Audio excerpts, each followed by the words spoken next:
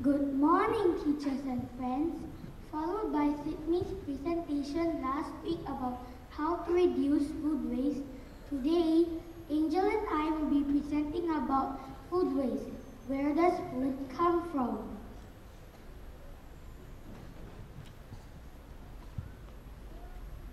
What is food waste? Food waste is food that is uneaten and thrown away. But have you ever wondered where does our food come from?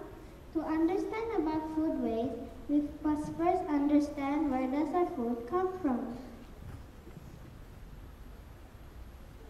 We all eat fruits and vegetables. Some of us also eat meat and fish. Where does food come from? Sources of food. We get food from two main sources. They are plants and animals. I'm sure all of us know that food is very important to our health.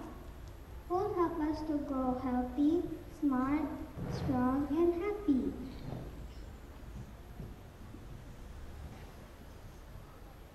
Hey Koeby, what is your favorite food? Ooh, it's chicken rice.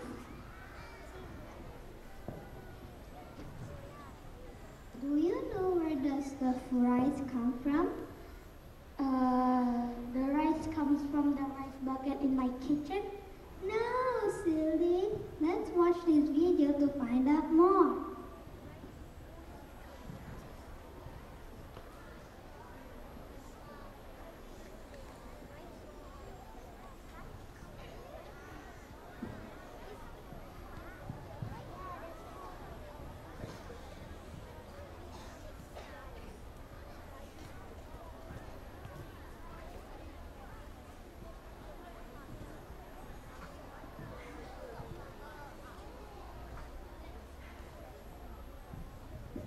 Use your eyes to watch the video.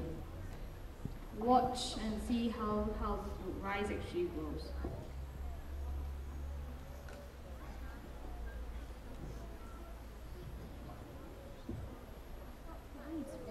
By making the ground too waterlogged for them to take hold. Some rice fields are irrigated with water from nearby rivers. Others are rain-fed areas How does rice grow? Rice is a grain. It looks like grass when it's fully grown. Most of the rice we eat in the UK comes from India, Thailand, Cambodia, Vietnam, Pakistan and Italy. People in these countries have grown rice for thousands of years. But actually, you can grow rice in most places as long as the plants aren't exposed to the cold. Rice grows in a paddy field, it's different to a field you might see in this country because it's usually flooded with water, which is just how the rice plants like it. The water protects the rice plants from extreme heat and cold and stops the weeds from growing by making the ground too waterlogged for them to take hold.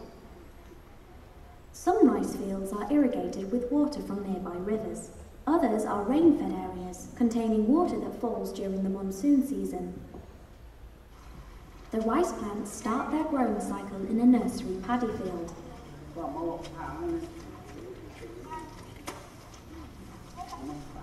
After one month, the seedling plants are put into small bunches and transplanted to a larger field to allow them to grow to their full size. The ground in the larger paddy field is prepared for the seedling rice plants by ploughing. They use oxen to pull the plough through the waterlogged field. The small bunches of rice seedlings are then planted in the main field by hand. The seedlings are given plenty of space in the ground because the rice plants will grow to be around a metre tall. It takes three months for the grains of rice to develop at the top of the plant's stalks. When the grains turn yellow and hard, it's time for them to be harvested. In this field, the rice has to be harvested by hand, so during the harvest, the paddy field is drained to make it easier for the workers. The farmers harvest the rice by cutting the stalks with a sickle. Next, they separate the grain from the stalks by threshing it. This is usually done by hand. In some places the rice is spread out, like this, and the heat of the sunshine dries it out. But often, the rice is stored in large silos, and using dryers, they heat up the air to dry out the rice. Once the rice is dry, the rice grain is separated from the outer husk using this machine. Now it's ready to be placed into these one-ton bags and transported to rice mills in Europe.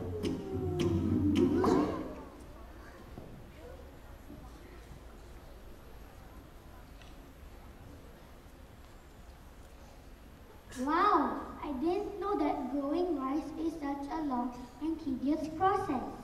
Yes. Yes, so much effort is put into growing rice. That's why we should not waste rice. Where does rice come from? Rice is a kind of grain which is mostly eaten steamed or boiled, but it can also be ground into a flour.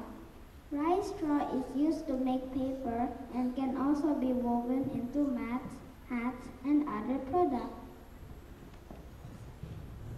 How about What's your favorite food? Ah, beef steak, yummy, fat and juicy beef steak.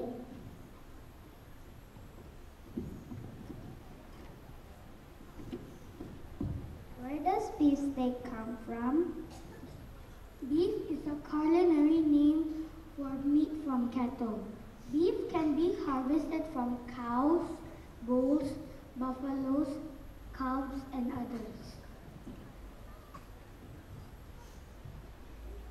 Do you know that rearing cows aren't environmentally friendly because cows produce a massive amount of methane, which is a greenhouse gas causing air pollution and global warming. Beef is the third most widely consumed meat in the world, accounting for about 25% meat for meat production worldwide. After pork and poultry, which is pig and duck.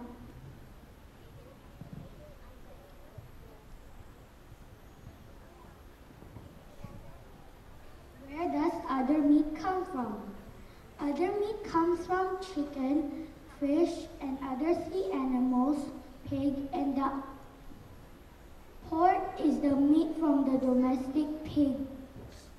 Ham, bacon, and sausages are some examples of preserved pork. Meat from sea animals includes fish, prawns, crabs, and others. Where does Singapore get our food from? Singapore is heavily dependent on food imports due to its virtual absence of agriculture and livestock farming. More than 90% of the country's food supplies are from abroad, especially from the Asian region. We import food such as eggs, chickens, and fruits from Asian countries like Malaysia, China, and Australia. How about fruits and vegetables? Do they come from the supermarket? No, they come from nature. Seeds are planted to the ground until they grow and bear fruits. Some fruits grow into a tree like mango, orange, while some from vines like watermelons and grapes. Oh, I know, just like our watermelon plot in our PGPS garden. How many of you have seen our watermelon plot? It now has five watermelons. Angel, how about vegetables? It's the same as fruits. They also sprout from seeds. It is also a very tedious and long process, from the planting of the seeds to caring for the seedlings to harvesting. Now that we know it's not easy to grow fruits, vegetables, and raise a cattle farm, we should not waste our food. Wasting food means wasting natural resources like agricultural land, water, fuel, and other natural resources. Wasting food is also wasting fuel. The fuel that is needed to transport the food from other countries to Singapore is wasted. The oil used to cook the food is also wasted. Not only that, do you know that one third of the food produced are wasted every year? It is a serious concern and harming both the economy and the environment. More landfill is needed to contain all the waste we generate. Methane gas is produced, increasing global warming. Water and fuel are wasted. The quality of the soil is also reduced. We really need to think twice before wasting any food.